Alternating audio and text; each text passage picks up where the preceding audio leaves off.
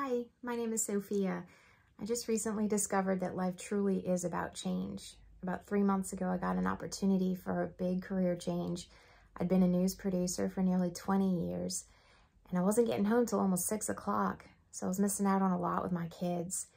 But I got to see my daughter's first cheerleading performance and my son's first academic games competition, and that's all because I embraced change. It was hard, it was scary. I sometimes equalize change with the possibility of failure. But in this case, I got new opportunities and I feel truly blessed that I can do all these things that I never could do before because I felt kind of tied down to my desk. So here we are. Life is about change. So embrace it because you never know what kind of great things could happen to you if you don't give it a shot.